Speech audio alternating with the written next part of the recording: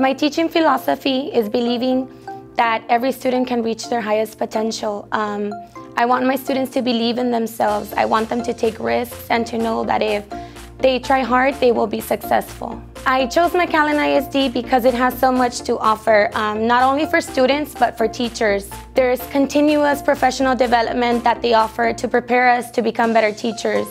Um, because of that, um, this school sets high expectations not only for, for everyone, so that's the reason why I brought my, my own children to this district. I would like to thank um, the principal that hired me, Ms. Rosie Guerra, my current principal, Ms. Tretla, um, the assistant principal, Ms. Cervantes, just for believing in me.